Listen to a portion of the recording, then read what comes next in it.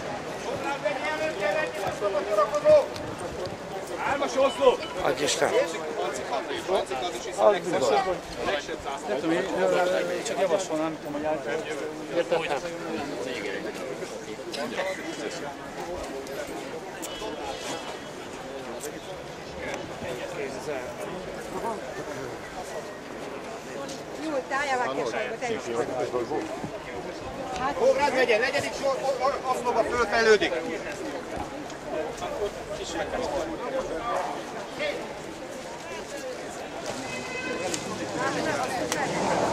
Jobbhajtás a tér és táv köz, ahogy mindig, jó? Csak gyorsan így azt hogy ne kelljen már kitelni. Hogy de jó, hogy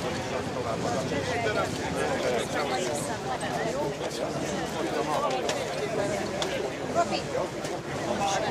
Hajtásra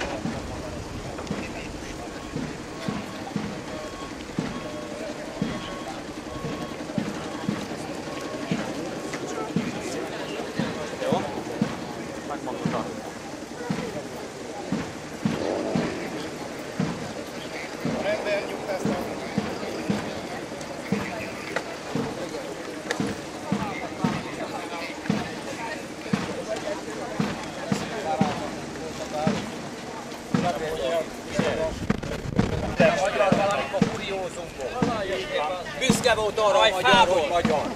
Hajfából jöttél? Vagy magyar királyok, akik az egész Európa rögtön őket.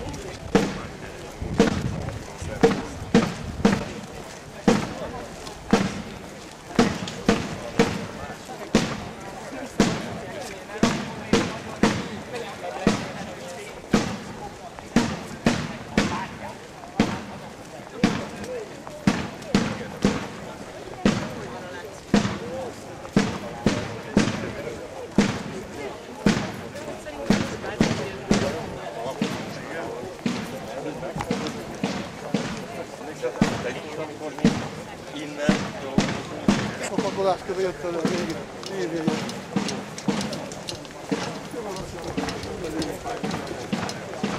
Megnéztem azokat a buzerásokat, aztán a következő három szarok után. Magyarországon, magyar passzjent, magyar túlákat, de azt nem Ott, futottam, AVS kocsik után, oda pár darab AVS van. Ellentüntetők, vagy ki? Igen, zsidai. Ott a Dániel elvtárs is ott van be. Van. Jöhetnek itt vannak a mocskosok. Két kamera még jöhet.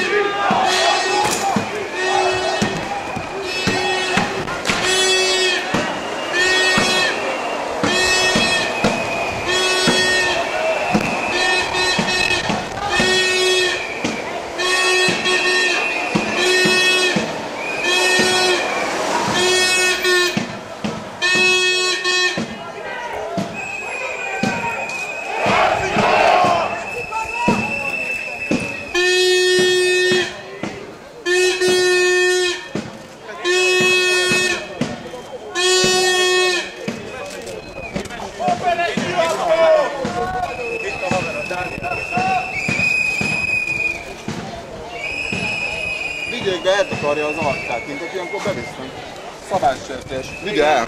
Én is úgy emlékszem, Intézkedés, így vittek be. intézkedési kötelezettsége van, vigyék el! Vigye el!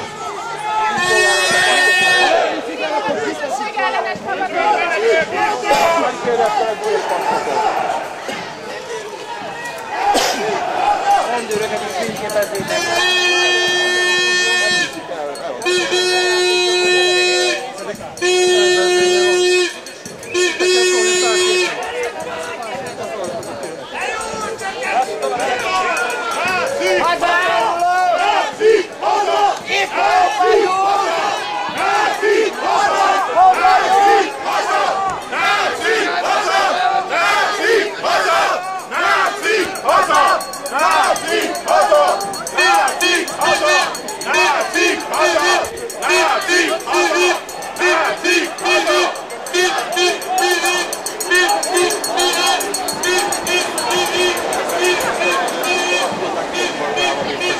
Aha, akkor nem lesz itt semmi, kérem.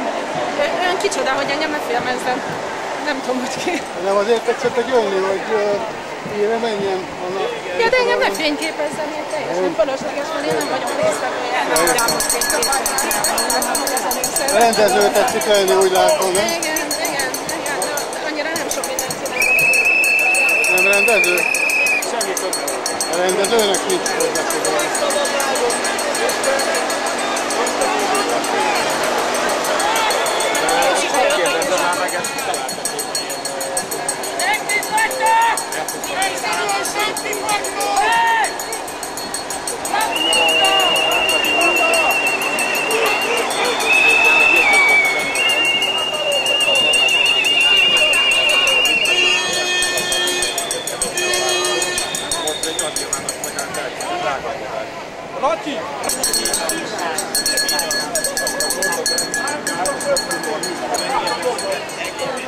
hozzáférés. Laci! Árdista söpredék takarodó. Ez a szerencsétlen vén zsidó, azt ilyenek Hallod, kerítésre tereget a cigány. Igen, jó? De nem engedik meg neked, ez a probléma. Hát jó, kös föl magad! Ez a probléma. Takarodó gárdista! magad.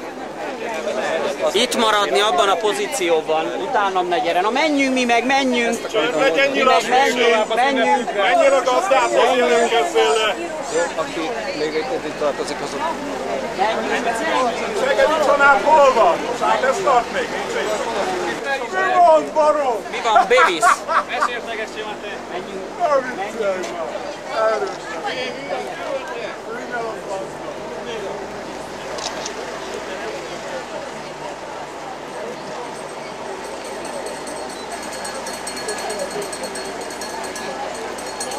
Akkor egy után mennek. Marhakoron. Birkás is. Marhakoron. De világos, hogy a kevés érdekel. Na, menjetek, menjünk tovább. Újságíró.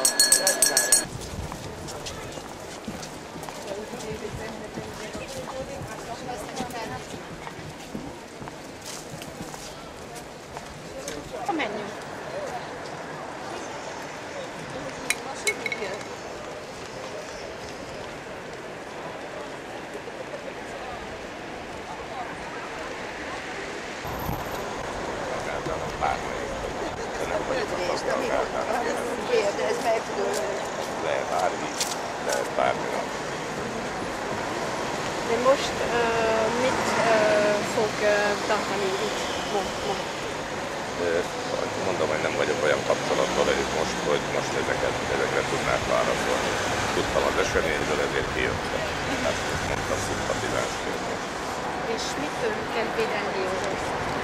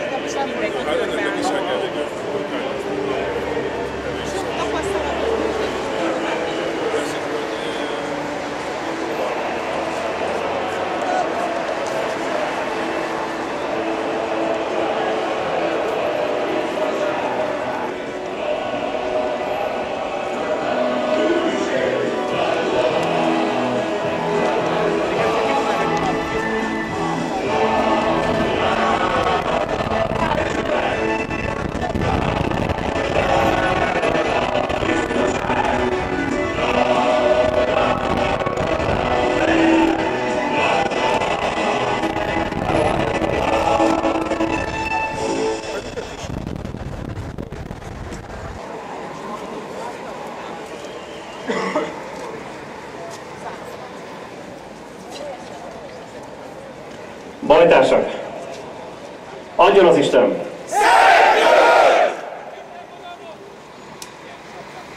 Én vagyok a bejelentő állampolgár, a Kárpátasz Űrei főkapitány helyettes.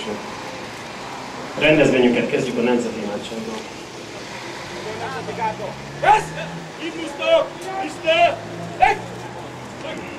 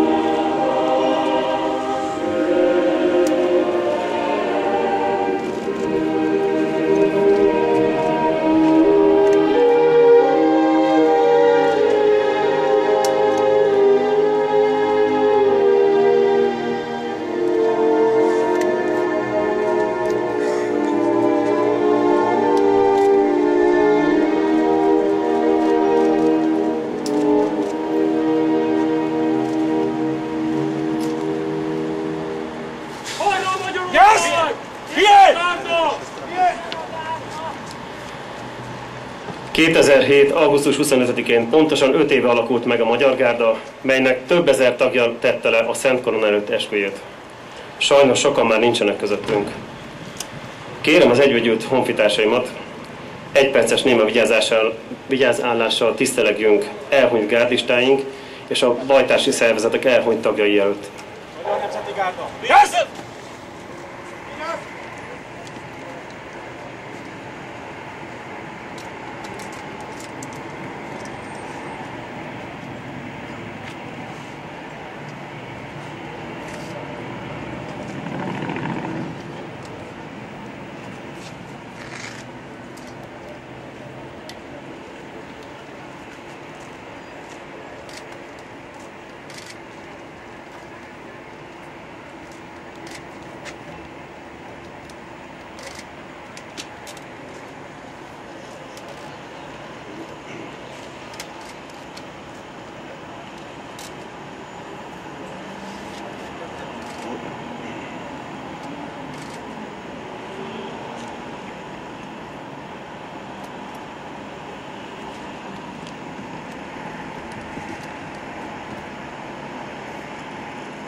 Köszönöm. Elsorolnám, hogy a mai rendezvényünkön mely szervezetek vesznek részt.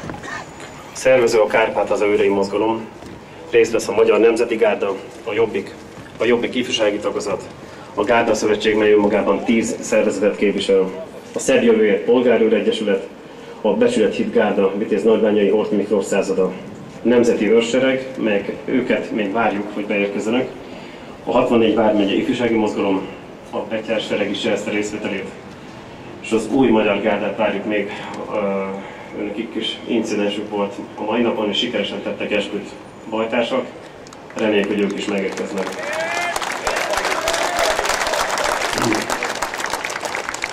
A rendezvényen, a rendezvény a gárda motorosok vezették fel a vonulást.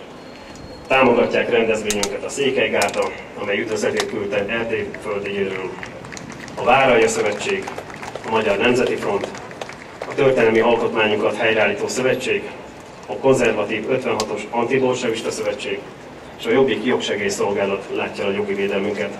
Köszönöm, a, köszönöm az esemény reklámozását minden nemzeti honlapnak, ahol megjelent az eseményünk. Mielőtt felszólalóinkat hívnám, kérek mindenkit, hogy rendkívül fegyelmezetten viselkedjen. Ellenségeink leghőbb vágya az, hogy elcsattanjon egy pofon, vagy elrepüljön egy vizes palack, és ö, megszűnjön a békés jellege ennek a rendezvénynek. Ne üljünk fel a várható provokációnak, ha gyanúsat észleltek, jelezzétek a rendezőknek. Első felszólalónk Horka Sándor, a Kárpát az Őrei Mozgalom főkapitánya. Kérem a színpadra.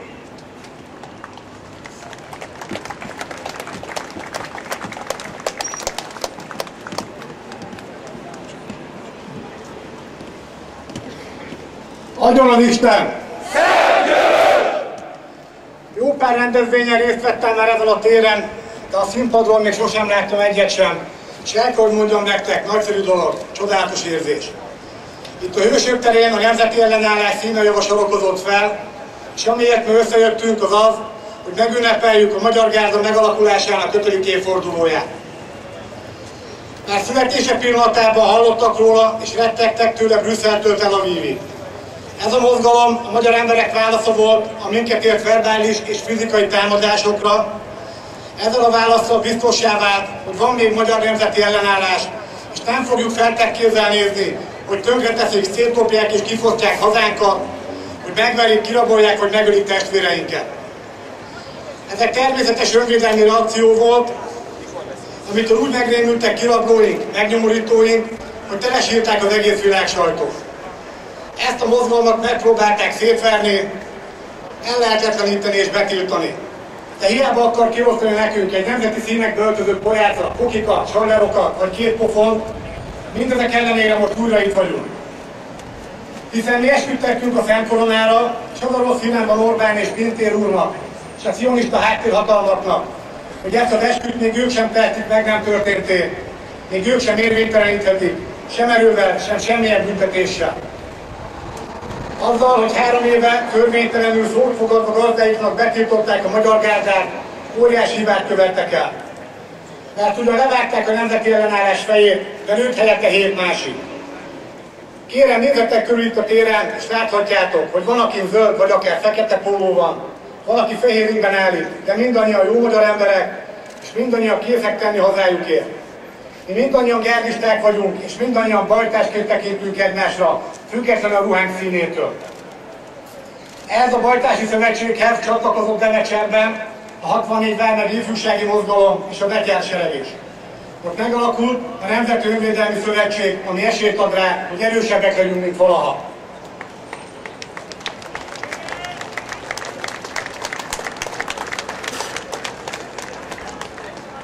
Tehát azt mindenki tudja, hogy semmitől sem rettegnek jobban ellenségeink, mint hogy kialakul egy egység, egy szövetség itt a nemzeti oldalon, és akkor bizony nekik befellegzett. Akkor pakolhatnak, akkor indulhatnak a csáterek Brüsszelbe vagy Tel Avivba.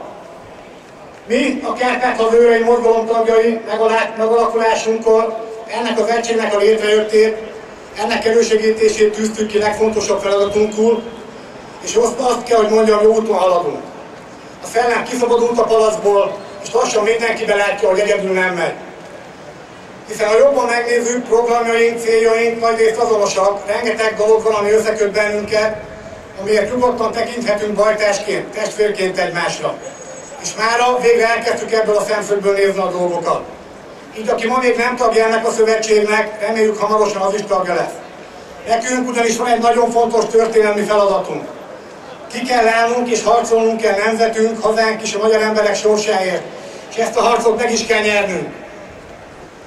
Meg kell nyernünk, de nem magunkért, nem a dicsőségért, hanem gyermekeinkért, unokáinkért és hőseinkért, akik egykor életüket és vérüket adták a hazáért, és értünk. A mi kötelességünk ugyanez. Mindent el kell követnünk, hogy Magyarország az utánunk következő generációk számára is szabad és magyar legyen. És mivel a győzelem csak együtt vállakra képzelhető el, így kötelességünk ezt az egységet, ezt a szövetséget támogatni, mert aki nem itt tesz, az az ellenséget erősíti. Mert bizony egyenként gyengék vagyunk, együtt viszont legyőzhetetlenek. És ahogy mondtam, nekünk nyernünk kell, mert egyszerűen nincs más lehetőségünk. Remélem, hogy hamarosan 5-10-15 ezeren álltok közénk, álltok csatasorba, csatlakoztok a szövetség bármely tagjához, és akkor eljön majd az a nap, hogy Magyarország újra szabad és magyar lesz. De addig is nekünk kell helytállni, őrizni a lángot, a magyar nemzeti ellenállás lángját. A magyar gárd ez a láng volt, egy koró sötétben, egy fákja, amely megmutatta az utat, ami a magyar feltámadáshoz. De ezt az utat nekünk egykori sűrgárdistákkal kell végigjárni. Ez az út rögös, tele van veszélyen, hatalmas szakadékokkal, és szinte megmászhatatlan hegyormokkal. De nem fordulhatunk vissza. Nem hátrálhatunk meg, ugyanis nincs hova hátrálnunk. Eljutottunk addig a pontig, hogy létezésünk puszta tények forró veszélybe. Hogy nap mint nap szedi az áldozatként a fekete alázsvidéken, főként végtelen idős magyar embereket szemelte ki áldozatul, a feleségeink, gyermekeik sincsenek biztonságban. Eljutottunk oda, hogy úgy eladósították hozzánk, hogy már a Szentkoromán is elzárulva, az emberek tömegére már a kilakoltatás jön. Eljutottunk oda, hogy 2014-ben megveszik színes üveggyöngyökért földjeinket és vizeinket, hogy ezt már iparunkkal megtették, és a magyar emberek kezében nem maradt semmi őseink örökségéből. Az utánunk következő nemzedékekre pedig rabszolgaságot hagyunk örökül. Hát hova átállunk még? Mikor fogunk össze és mondjuk ki végre, hogy elég? Hogy ennyi volt és innentől minden más lesz. Hogy Mákon magyar lesz az úr ebben a hazában, és akinek ez nem tetszik, annak kellett tenni, hogy mi magunk fogunk elkergetni. A Nemzeti Önvédelmi Szövetség ezért alakult meg, ezért jött létre, hogy a magyar gárda szellemiségét tovább vigye, és ugyan nem egy zászló alatt, de egy táborban küzdünk hazánkért és a magyar emberekért. Mi a Kárpát hazaőrei mozgalom tagjai bajtásként, testvérként tekintünk mindenkire, aki hajlandó lenne a magyar nemzet megmentéséért. Mert itt élnünk és halnunk kell. Mert csak együtt van esélyünk. Hát fel a győzelemre, és adjon az Isten!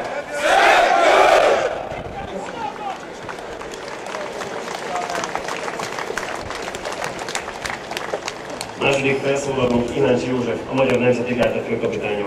Kérem felegyezzük. Magyar Nemzeti Gárda! Yes! Tisztelet!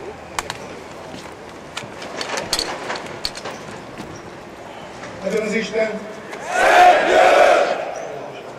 Yes! Miért?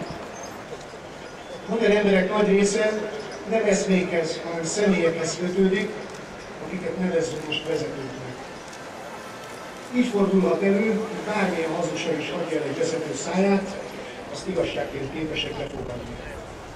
Láthatjátok, hogy például Gyurcsány nyilvánvaló hazugságai ellenére még mindig képes megvezetni jó pár embert.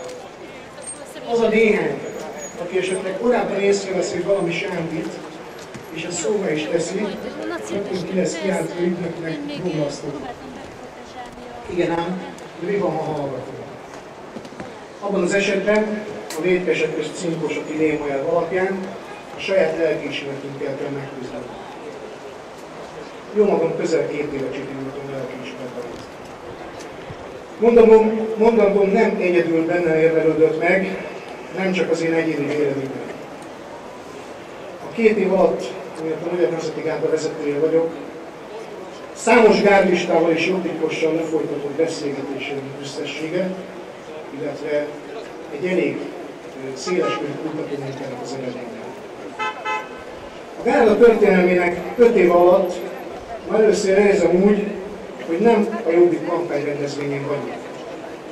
Ettől függetlenül, a Magyar Nemzeti Gárda és még jó néhány a Gárda Szövetség itt megjelent tagszervezete nevében nyilatkozhatom, azt kell mondanom, hogy olyanok vagyunk itt, mint mostoha gyerek a saját születésnapján. Ettől függetlenül itt vagyunk, mert meggyőződésünk, hogy ez a nap már rég nem az alapítókról szól, hanem rólunk gárdistákról. Öt év telt el, ami egy gyerek életében is azt jelenti, hogy önállóan jár, beszél, de még ennél is fontosabb, önállóan gondolkodik. A valamikori nagy létszámmal és dinamikus fejlődéssel rendelkező egyetlen gárda szétszakadt, nem is egyszer. Ezeknek a szakadásoknak az okát soha senki nem vizsgálta. Helyesebben, aki megmagyarázta, az mindig a saját szájaréze szerint tette. Mégpedig az okai az alapítók részéről megjelentetett hivatalos tájékoztatások szerint az eltávozott egységek vezetőinek egyéni ambiciózus törekvései voltak. Az ellenvélemények kifejtésére nem igazán volt lehetőség, meg aztán emlékezzetek arra, amit pár mondattal előrébb mondtam, legtöbben nem az eszméhez, hanem a személyekhez ragaszkodnak, amit a vezető mond, a számukra szentírás. És akkor a bevezető után tekintsük vissza az elmúlt öt évre, különös tekintettel annak a körülménye a kivizsgálására, hogy miért szakadt szét több ízben is a gárda. 2008-ban, márciusban avattak engem itt a Hősök terén. Ha jól körülnézek, körülbelül jó indulattal azt mondhatom, hogy negyed annyian vagyunk most itt, különböző egyenruhákban, különböző zászlókkal, különböző vezetőkkel. Miért is van ez? Nézzük végig. A 2007-es évnél nem sokat időznék ilyen szempontból, mert bár a létrehozás éve, de akkor még minden szép volt. 2008. szeptemberében azonban már megtörtént az első szakadás. Ennek oka nem volt egyéb, mint az, hogy több megyei gárdista komolyan vette, hogy a gárdát nem a párt irányítja, ahogyan az le is volt írva, hanem saját irányítás alapján működik. Az utolsó napig próbáltak kompromisszumra jutni az alapítókkal, de az árulóknak lettek kikiáltva, és a gárda első osztály ketté. Csak azért, hogy a párt megtarthassa irányítási pozícióját. Az eltávozottak őrző magyar gárda néven folytatták tevékenységüket, és mivel ma is működnek, ők is itt vannak. És itt vannak köztük olyanok, akik végigélték a 2008-as szakadást, köztük akkori megyei vezetők, akik mind a tanulmányra, amik itt most elmondják. Sajnos én akkor még csak fél éve voltam gárdista, nekem is szentírás volt, amit akkor nekünk az alapítók erről az egészről mondtak. Korábban már megtettem, de most itt a nagy nyilvánosság előtt is megkövettem ezeket a bajtársaimon, akikkel akkor szembejelzünk. 2008. szeptemberétől 2010. augusztusáig szakadásmentes időszakot élt meg a gárda, összehető az annak, hogy egy olyan vezető irányította, aki a párt érdekeit maximálisan szem előtt tartotta. De hogy ne csak az eredmény beszéljek, ott nem beszélni.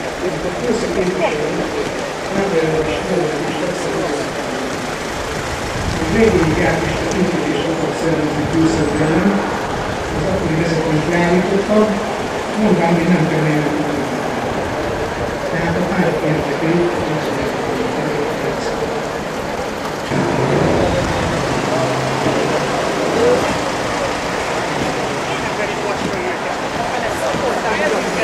az Mi vagyunk a Hallod Imre? Tudod mit mondtam a csávon, akit kamerázok? Mondom, a más választóak meg a kiválasztottak szopjanak le. Naponta gyúrják. Nehogy szabadon érjenek. Hallod?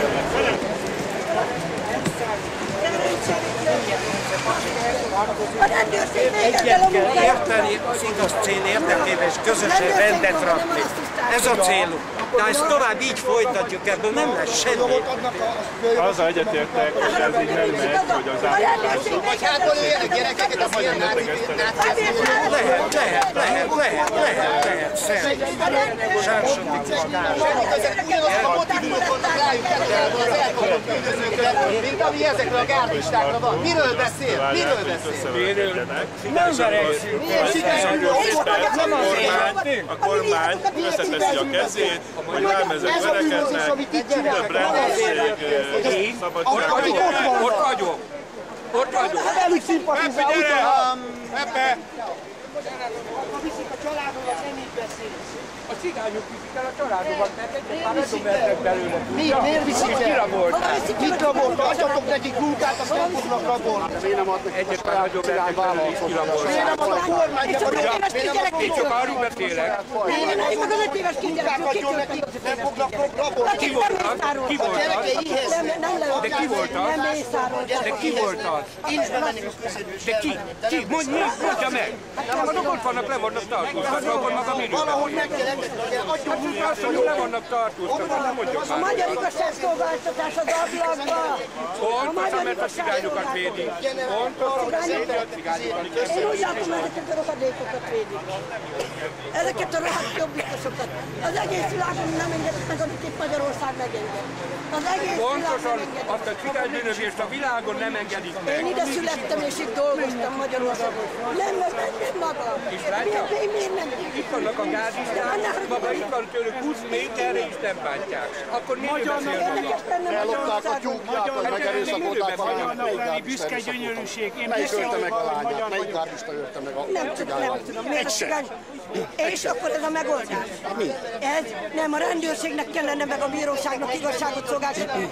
Nem ezeknek a trógereknek, de ezeknek a dologtalan tróger jobbikos köcsögöknek. Ezeknek a köcsögöknek. A kurucinfóra kirakják, az azt mondják, Nem baj, én most írtam nekik a kurucinfóra egy olyan levelet, hogy igazság. Írtam most nekik a kurucinfóra, hogy kurucozzanak. Magyarországon Sőt, zokogtak. Hát a kurucinfón biztos zokogtak. A... Fölvetettetben igaza van, mert valóban a megoldás... Magyarország nem tesz rendet, az egész világtól kérni fogom a segítséget, mert Magyarország nem hajlandó rendet rakni. Mennyi munkaviszonyt bírnak így körülbelül papíron igaz? Én 40 évet dolgoztam külön. És maga megmutatom. És kiváló dolgoztam, hogy 20 éve társadalmi munkába csinálok. A cigányok Társadalmiban. 20 éve. volt munka, dolgozták. Minden magyar, magyarok Figyelj! Jó, Ja, der war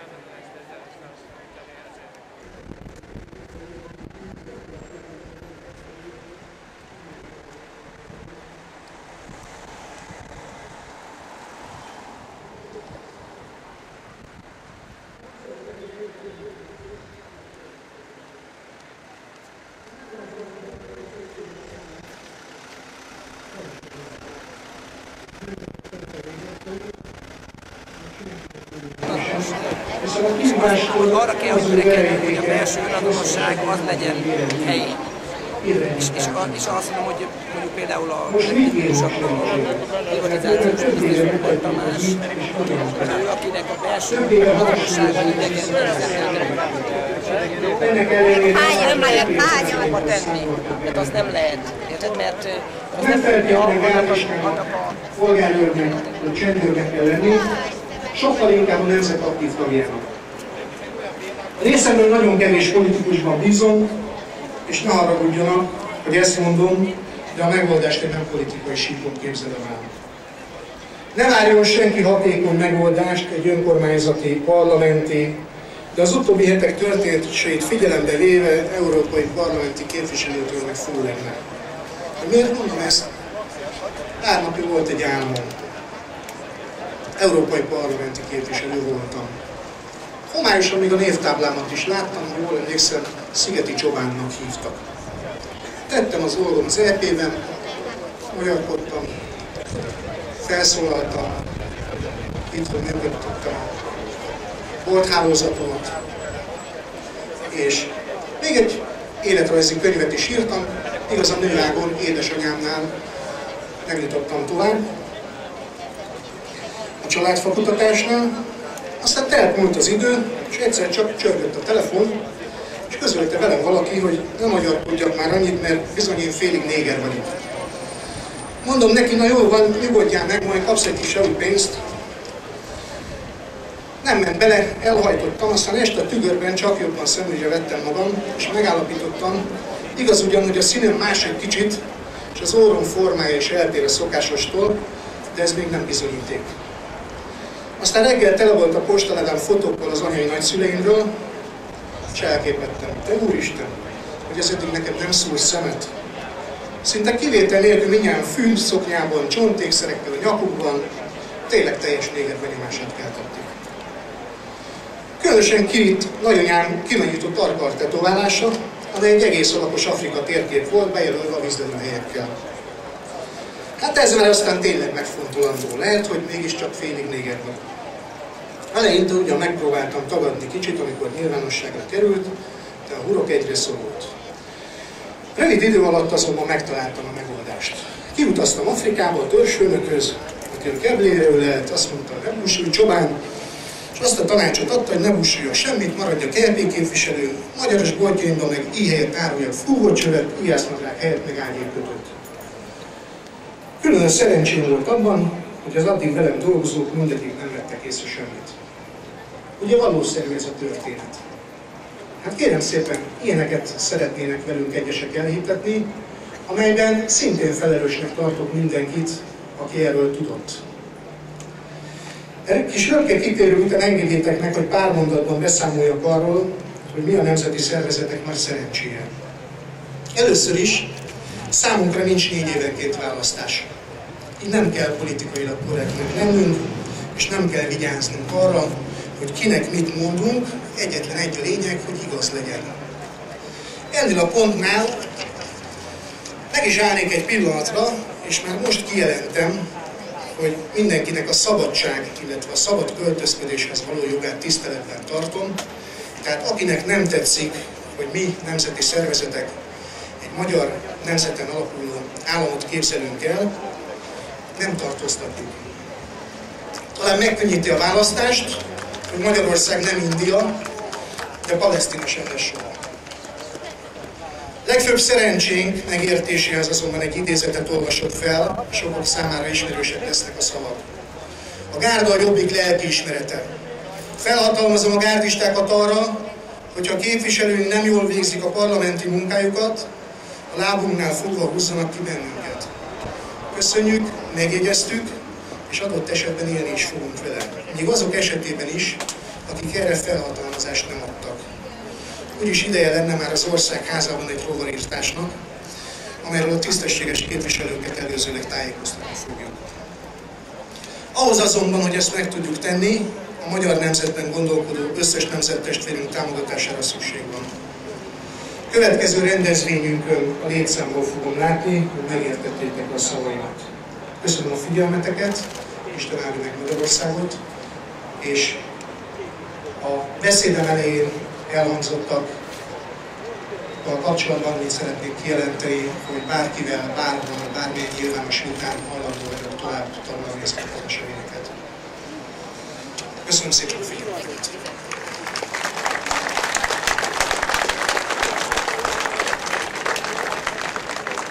Köszöntöm a csatlakozott szervezetek között az új hajnalrendet és a nemzeti érzelmi motorosokat. Következő felszólalónk László Attila, a Szebb Polgárőr Egyesület elnöke.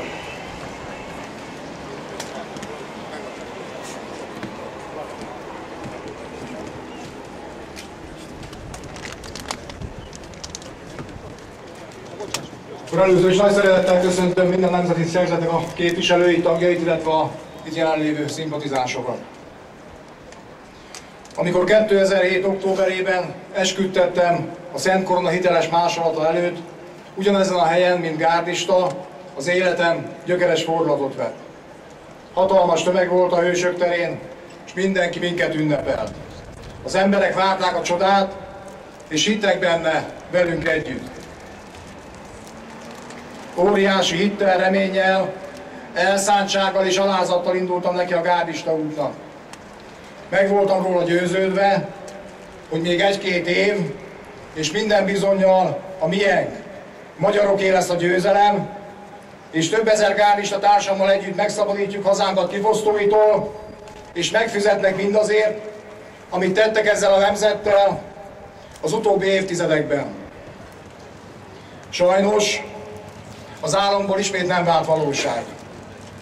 A legsajnálatosabb ebben, hogy a sikerre történet ismét nem vált valóra, és erről talán a gárdisták tehetnek a legkevésbé. Sok összetevője van mindennek. Közrejátszottak ember nagyméretű titkos szolgálati módszerek, emberi gyarlóságok, és beleszólt a politika is. Hatalmas erők összpontosultak arra, hogy egy nagyszerű elgondolás, egy jól felépített propagandával a háta mögött ne tudja beváltani a hozzáfűzött reményeket. Most itt állunk, öt évvel a gárda életre hívása után, azzal a tudattal, hogy a küldetésünk még mindig messze nincs teljesítve. Ami természetesen nem azt jelenti, hogy bármit is feladtunk volna eddigi elveinkből. A harci szellemünk úgy gondolom továbbra is töretlen, és felvértezve az öt év tapasztalatával folytatjuk továbbra is nemzetmentő missziónkat. Mert azért az öt év nem volt hiába való. Csodálatos dolgokat éltünk meg bajtársainkkal, számtalanszor segítettünk balvétot honfitársainknak, és sokszor már valóban nem messze álltunk attól, hogy a célunk valóra váljon. Elmondhatom, hogy lennek embereket, igazi bajtársakat is ismertem meg ez alatt az idő alatt, és leraktuk közösen az alapjait annak, hogy egy valódi nemzeti összefogás bonthasson ki, bontakozhasson ki, akár a mai naptól is. A Devecselen meghirdetett Jogos Magyar Önvédelmi Szövetség most már egy következő állomásához érkezzen, aminek az alapgondolatait reményeink szerint a rendezvény után le is fogjuk fektetni. Ehhez azonban az kell, hogy félretegyük az esetlegesen kialakult eddigi sértődéseinket, igenis vállaljuk fel egymást, ne tagadjuk meg azokat a bajtársainkat, harcos társainkat, akik már számtalanszor bizonyították nemzetünk iránti elkötelezettségüket, és álltak mellettünk válvetve közös harcunkban. Itt kell megjegyeznem, hogy egy kiváló szónok, egy remek hazafi, Kirtyán Zsolt, a betyársereg vezetője nincs itt a köreinkben. Pedig a helye itt lenne pontosan akkor, amikor egy új nemzeti összefogás, egy valódi új erő körvonalai bontakoznak ki. Higgye el mindenki, ez nem rajta múlt. Zsolt ismét emberi nagyságáról tett tanúbizonyságot, és lépett egyet hátra, tiszteletben tartva azt, hogy ez a mai nap a gárdái. De tisztában vagyunk azzal, hogy közös harcunkban bármikor számíthatunk rá.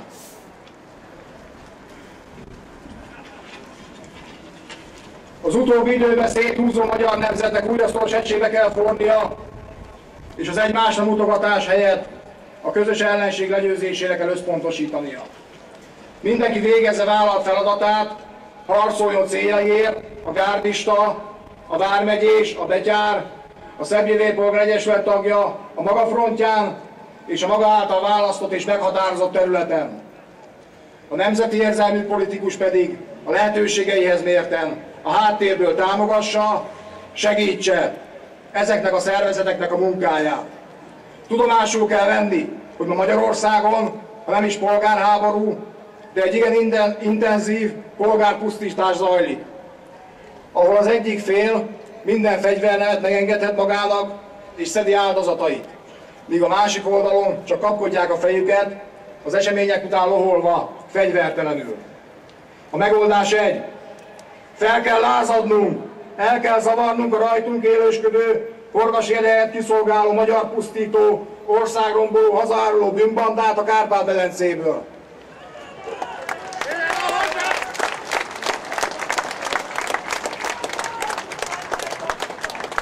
Olyan vezetésre van szüksége az országnak, amelyik a hatalomra kerül, azonnali hatája véget vet ennek az ördögi játéknak.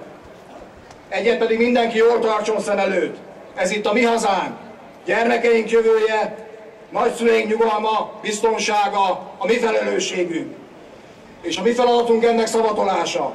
És ha valaki, legyen az bárki, akár a hatalmon levő kormány is, ez ellen cselekszik, nekünk kötelességünk ez ellen fellépni.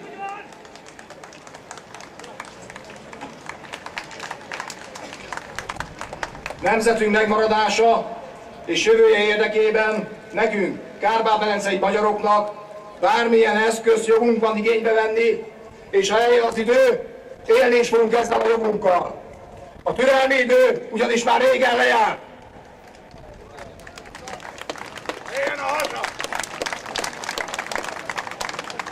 Az ébredező oroszlán is már nyújtózkodik, és hamarosan megráz a sörényét, kinyomja félelmetes karmait, és elindul, hogy beteljesítse küldetését. Az oroszlán ugyanis nem arra van kárhoztatva, hogy szép csendben, visszahúzódva, éhezve leélje az életét, és végelgyengülésben kimúljon.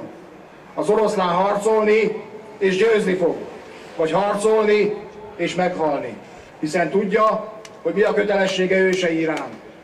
Szép csendben eddig még soha nem hultak el ennek az oroszlánnak a felmenői. A nagy bajban, ha kellett, mindig ott állt, és bátran szembenézett minden ellenségével. Hol győztesen, hol vesztesen, de mindig büszkén, méltósággal és emelt fővel hagyta el a harc szinterét. Tudva, amit meg kell tenni, az elől nem lehet elbújni, és most sem fog elbújni a legnagyobb végveszélyben. Nem fog így tenni, ebben biztosak lehetünk. Hát ébredjen az oroszlán! Harcra fel, testvéreim! Adja az Isten!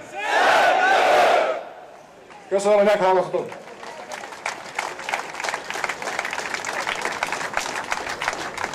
Szólítom a színpadra Torockai Lászlót, a 64 Vármegy ifjúsági mozgalom elnökét.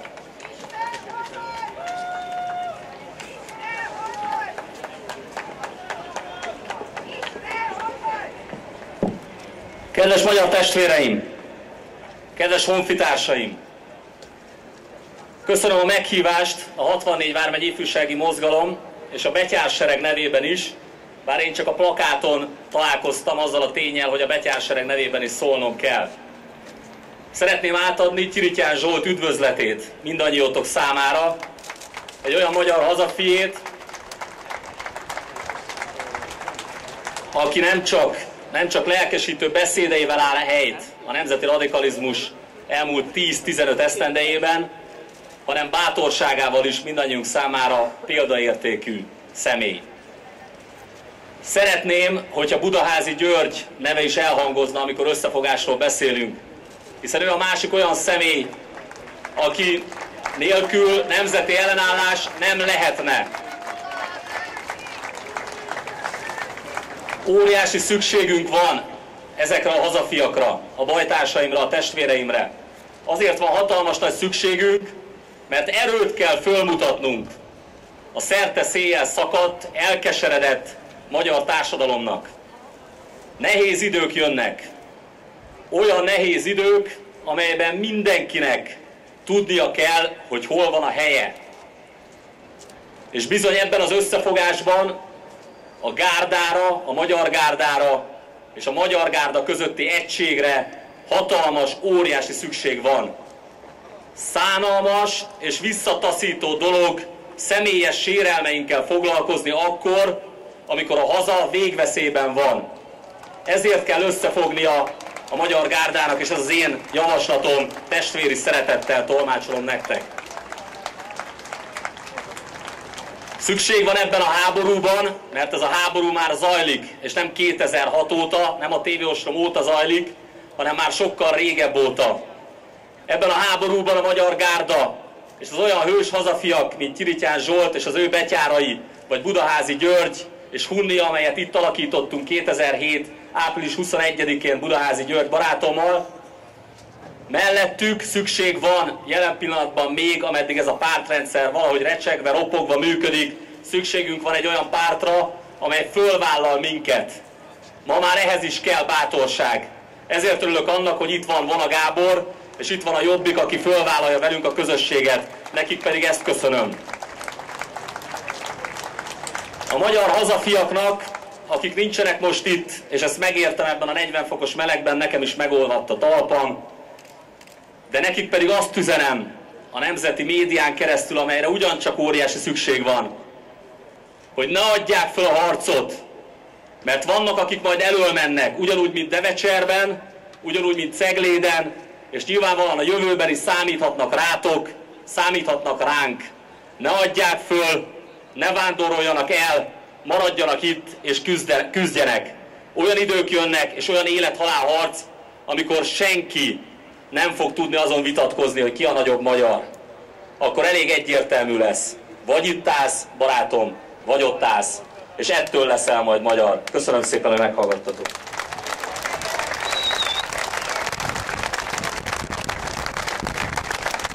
Következő felszólalónk Ágoston, Tim, Ágoston Tibor hadnagy, a Nemzeti Őrsereg kommunikációs tisztje lesz. Kérem a színpadra.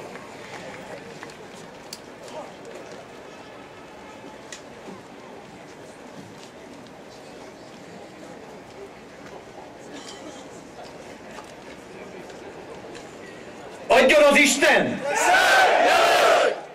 És hogy az őrsereg köszönni szokott, húj húj! Hajrá! Húj húj! Hajrá! Húj húj! Hajrá! Kedves honfitársaim, bajtársaim, küzdőtársaim, tisztelt születésnapos! Hoztam magammal egy zászlót,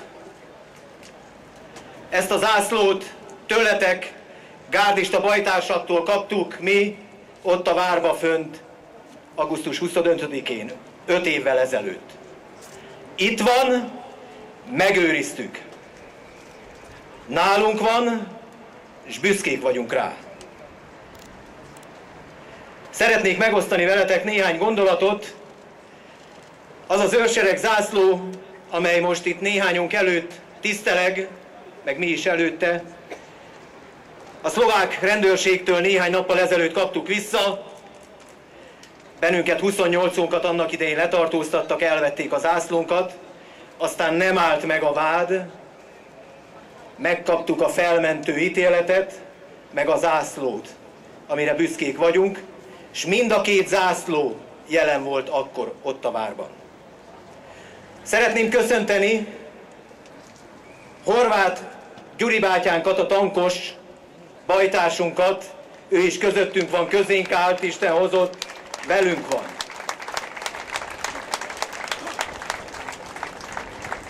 Szomorú is a szívem, meg örül is.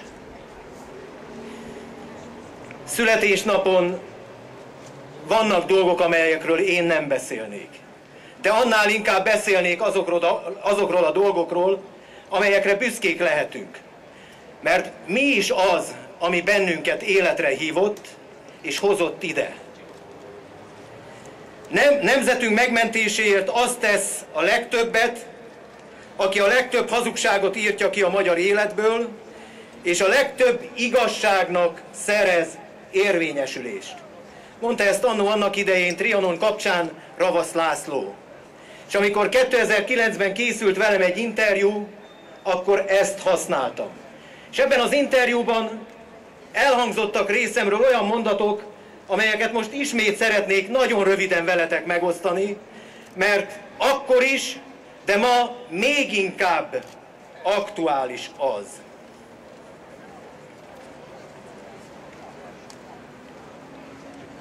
Megkérdezték, mi a véleményem a jobbikkal kapcsolatosan. Az a tapasztalatom, hogy olyan a jobbik, mint egy beteg testnek az immunjavító vitamin. Szüksége van a vidék Magyarországának a jobbik megjelenésére a politikában és a közbiztonság minden területén. Nagy az elvárás a párttal szemben, szurkolok, hogy meg tudjanak felelni a kihívásoknak. Öröm tudni, hogy ez a kezdeményezés valóban alulról szerveződik, és egyben megnyugvás, hogy mi magunk fajták eldönthetjük, kire is adjuk le szavazatunkat itt a jobb oldalon. Tehát valóban választhatunk. A magyar gárdával, valamint a nemzeti őrsereggel kapcsolatban pedig a következőket mondtam. A magyar gárda, valamint a nemzeti őrsereg kapcsolatában pedig azt szoktam mondani, olyanok ők, mint a szervezetben a stresszfehérje anyag. Akkor termelődik, amikor szüksége van rá a testnek. Amikor ájult állapotba került a húsvér test tulajdonosa. Ekkor beindul a védelmi rendszer, és mint egy tartósító szer konzerválja a főbb szerveket. Védi, óvja, amíg a test ismét megfelelő módon nem működik. Na ilyen számomra a születésnapos és minden nemzeti radikális szervezet és a hozzá kötődő támogató. Drága bajtársak, ahogy mondtam, vannak örömök és vannak nehézségek, amelyekkel valóban szembe kell nézni és meg kell küzdenünk. És amikor végig gondoltam, hogy ma beszélni fogok, akkor nem jutott más eszembe, mint Dobó István egyik elhíresült beszéde, amely az Egri Csillagok kötetben megtalálható, és lehet, hogy rövid volt, lehet, hogy kurta volt, lehet, hogy katonásabbat vártatok ma tőlem, de gondoljatok arra, hogy valóban mit jelent ma sokak számára az, hogy vagytok, hogy bennetek lehet bízni, hogy egymásnak hátat fordíthatunk.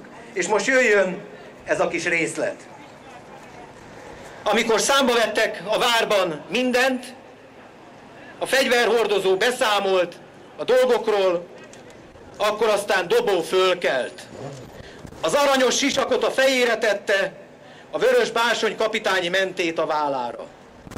És bal kezét a kardján nyugtatva szólott. Kedves barátaim és védőtársaim! A falakat láttátok, most már a falakon belül levő erőt is ismeritek. Ebben a várban van most a maradék ország sorsa. A teremben csend volt, minden szem dobon függött. Ha Eger elesik, utána nem állhat meg sem Miskolc, sem Kassa. Az apró várakat lerázza a török, mint a diót. Nincs többé ellenállás. És akkor Magyarországot beírhatja a történelem a halottak könyvébe. Komor szemmel pillantott körül Dobó, és így folytatta. Az Egrivár erős, de ott a szolnoki példa, hogy a falak ereje nem a kőben van, hanem a védők lelkében. Ott pénzen fogadott idegen zsoldosok voltak. Nem a várat mentek védeni, hanem hogy zsoldot kapjanak. Itt az öt pattantyúson kívül, kivételével minden ember magyar. Itt mindenki a hazát védi. Ha vér kell, vérrel. Ha élet kell, élettel. De nem, mondhat, de nem mondhassa aztán ránk a jövendő nemzedék, hogy azok a magyarok, akik akkor, vagy mondhassák majd ránk, hogy mi, tehát akik akkor 1552-ben itt éltek, nem érdemelték meg a magyar nevet.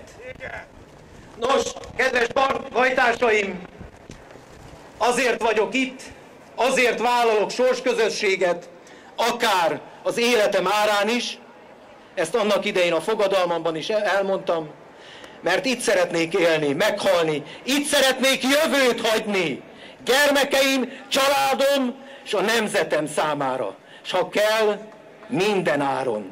Köszönöm, hogy meghallgattatok.